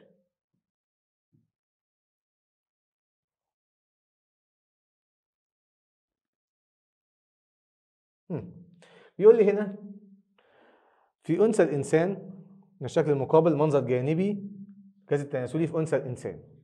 ماشي. ده منظر جانبي للجهاز التناسلي اللي هو الجهاز التناسلي الأنثوي. أي التركيب التالية يكون أكثر تاثيرا على المادة الوراثية للنسل الناتج في المستقبل إذا تعرض لجرعات زائدة في الإشعاع. والله أنت تقول لي مادة وراثية يا أستاذي؟ حاضر. ما دام مادة وراثية يبقى أنت بتقول لي بمنتهى البساطة. المادة الوراثية يعني انقسام ميوزي داخل المبيض. والله بقى جاله إشعاع ما جالوش إشعاع أي تأثير عليه بيكون جوه المبيض. طلع المبيض المبيض عندك سين سهلة. سين سين فقط. طيب خش على غيره واللي جاي بعد كده من ضمن الأسئلة المهمة عشان هقول لكم على الفكرة بتاعته اللي هو عايز يوصلها لي. بصوا كده قدامي خلية وخلية حجمها صغير. شوف أهمية السؤال فين. بقت كبيرة. السؤال عايز تقول إيه بقى يا مستر والله عايز أقول لك إن أنا ما دام قال لي مبيض جنين أنثى إنسان عمري ما هشوف حاجة كبيرة غير لما تكون حاجة حصلت أو جاية من عملية نمو. خلاص كده؟ طيب. فأنت عندك إيه؟ عندي أكيد أول حاجة ببدأ بيها مين؟ تبقى جرثومية أمية. طيب يبقى لازم أبدأ بإيه؟ ها؟ جرثوميه أمية. دي البداية. ودي حجمها صغير. بتنقسم ميتوزي وتجيب حاجة اسمها إيه؟ أمهات البيض. وأنا حافظ الكلام ده. وبعدين أمهات البيض تخزن قدر من الغذاء وتطلع حاجة اسمها بيضية أولية. ودي بتكون أول حاجة كبيرة الحجم. إن ديت جاية من مرحلة النمو. دي طبعا النمو. دي مرحلة التضاعف. وكلتا المرحلتين نفتكر بيحصلوا فين؟ والبنت جنين لسه ما اتولدتش. فماذا تمثل كل من س وصاد على الترتيب. خلاص س جرثوميه أمية ها صاد ها بيضية أولية. دي كبيرة في الحجم. لازم أختار إجابة فيها بيضية أولية لصاد يا جماعة مش عايزة حاجة. عيب بقى تقول لي إن بقى أمهات بيض لأني آه، س أمهات بيض لأن لسه أنا هنقسم إلى أمهات البيض. إجابتي ج ماشي. شوف غيره.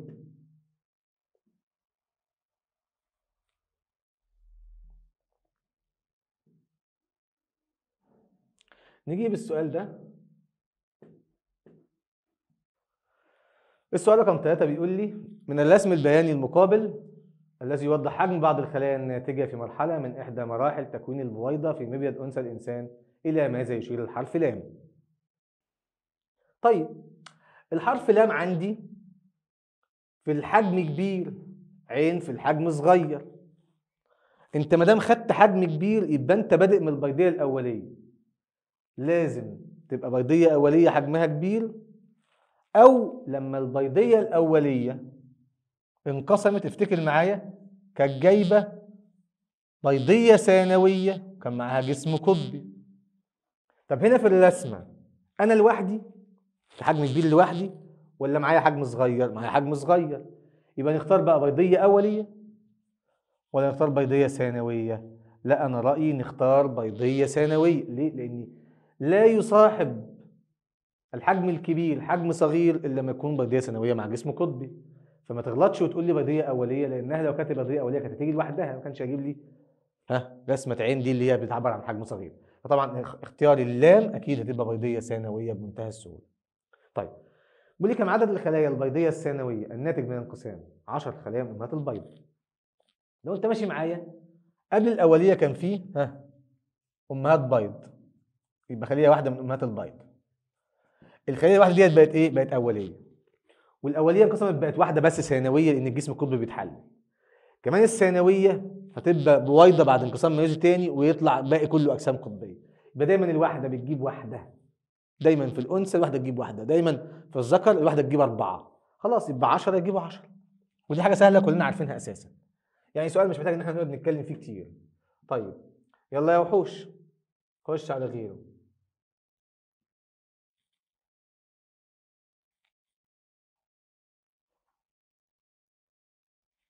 هنا جايب لي رسمة مهمة جدا. وبيقول لي طبعا رسمة المبيض قدام عينينا اهو يا جماعة. ها بص واشبع كده. بص على المبيض وجماله. ها. دي الوصلة اللي بتوصل الهرمونات. تمام؟ من المبيض للرحم B طبعا دي مين؟ ها حويصلات المبيض غير النضج C بقت حويصلة الجراف اللي بتنضج. ها. وبعدين D حويصلة الجراف ناضجه خالص. وبعدين E بويضه متحررة اللي هي بيضية ثانوية. بعد ما LH فجر وبعدين إيه اللي هو جسم أصفر. اتفقنا كده؟ طبعا جسم أصفر منكمش يبقى الست دي مفيش حمل يبقى في دورة شهريه هتحصل. تعالى يلا. بيقول لي أي الاختيارات التالية يمثل الترتيب الصحيح لتطور التراكيب المشار إليها بالحروف. تعال نشوف كده. A E D C B. يعني بيمشيني كده. لا أنا مش كده أنا جاي كده يا جماعة. أنا لازم FSH يشتغل الأول ثم LH يشتغل بعده فلازم أكون جاي كده. لازم اتجاهي يبقى كده يا جماعة. ها امشي على الاتجاه ده بقى دور بقى مين الصح. ها D E B C A ها D E لا رجع لخبطني يعني جه كده ورجع كده تاني ما ينفعش. B C D E A ها B C D E A الاتجاه بتاعنا الصحيح اتجاه عمل الهرمونات حسب الأيام. لسه شارحين في دورة الطمث إن دول في أول 10 أيام أو في اليوم الخامس بيكون موجود FSH ثم بعد الخامس لل 14 بيكون الوقت ده شغال. ده من الخامس ل 14 الفترة ديت. وهنا بقى من 14 لحد 28 في الفترة دي. فده الترتيب بتاع الأيام. اجابتي ج حاجة سهلة. طيب خش على غيره يلا يا رفاق.